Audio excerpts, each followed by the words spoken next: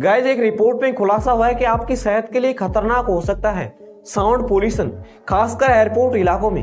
जी guys guys America की New Jersey medicals की एक रिपोर्ट के मुकाबले ये आंकड़ा उन इलाकों में और बढ़ जाता है जहाँ एयरपोर्ट होते हैं। गाइज़ इन इलाकों में हार्ट अटैक का रेट बहत्तर परसेंट तक बढ़ जाता है। गाइज़ रिपोर्ट में कहा गया है कि हार्ट अटैक से होने वाली 20 में से एक व्यक्ति की मौत साउंड पोल्यूशन के चलते होती है।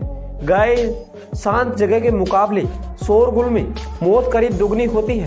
गाइस डब्ल्यू के अनुसार रात में सोते समय साउंड लेवल 30 डेसिबल और दिन में 50 डेसिबल होना चाहिए। गाइस जिन इलाकों में साउंड लेवल पैंसठ डेसिबल के करीब होता है तो वो इलाका साउंड पोल्यूशन इलाका कहलाता है। गाइस आप भी साउंड पोल्यूशन से बच के रहिए और गाइस ऐसे इन्फॉर्मेटिव वीडियोस के लिए हमें लाइक से सब्सक्राइब करना ना भूले। मिलते अगली वीडियो में।